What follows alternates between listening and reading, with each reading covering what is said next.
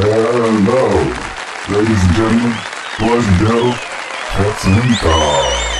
Welcome to Pranker's Bible. Roadshow. This time we're in Bramley, in Cornwall.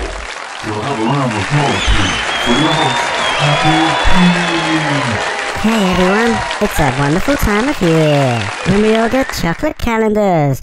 Woohoo! But if you're anything like me, 24 little chocolates just isn't enough.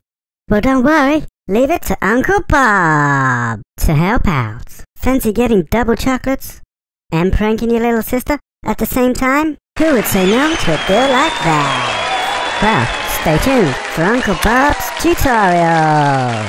Hi, I'm Bob, and this is my tutorial. Step 1. Sneak in to your little sister's bedroom and take her calendar. Step 2. Carefully pick away at the plastic at the bottom of the calendar. Step 3. Now, carefully pick away at the cardboard at the bottom of the calendar. Step 4. Slide out the tray with the yummy chocolates in it. Step 5. Eat them yummy chocolates. Step 6. Slide the tray back into the calendar.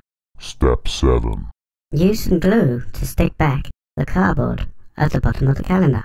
Step 8. Slide the calendar back into the plastic. Step 9. Warning. If you are under the age of 18, do not do this step on your own. Get your older brother to help, maybe a neighbor, or a homeless man at the end of your street. This step is very dangerous to try by yourself. Get someone to help. You could end up with an owie. You have been warned. Get a responsible adult to use a lighter and seal the plastic back up. Step 10. Put the calendar back into your sister's room. But of course, an extra option you could do is remove all the buttons off your school shirts.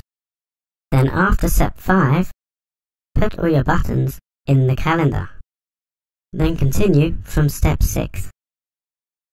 Once you completed all the steps, and your calendar is sealed up but this time with shirt buttons in it, find the receipt and take it back to the shop. And then you can get some extra money as well as lots of chocolate. Well, that's all we've got time for today. See you next time on Bob's Tutorials. Thanks, Bob. Bob and his tutorial, everyone.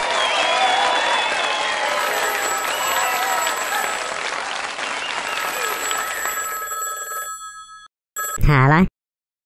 Hi, I'm ringing up to make a complaint. Oh yeah, well this isn't a phone-in show. Well, I wrote to Points of View, and they wrote back saying they never heard of you.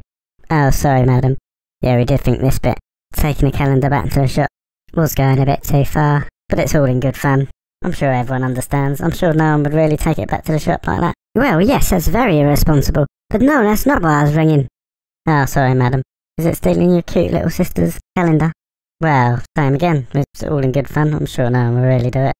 Yes, that's very irresponsible too.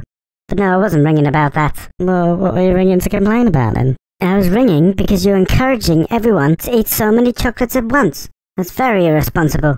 Do you know how many obese people there are in this country? Oh, so calling everyone in the country fat isn't offensive. What? How dare you? I'll have you know I work for seven charities.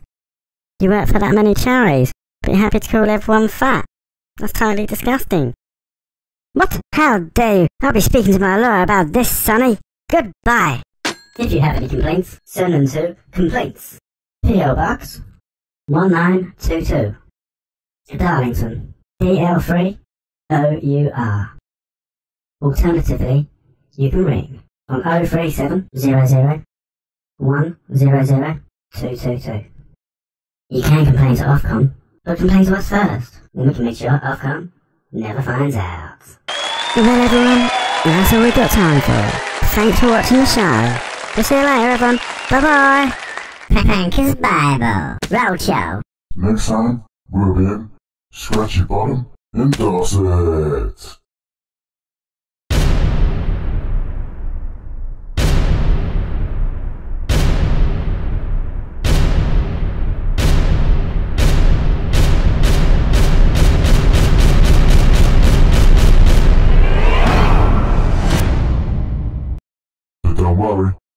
If you can't make it to Scratchy Bottom, you can always watch Pranker's Bible at their home on the Monty Gladys Show. Check out more Prankers Bible here. Don't forget to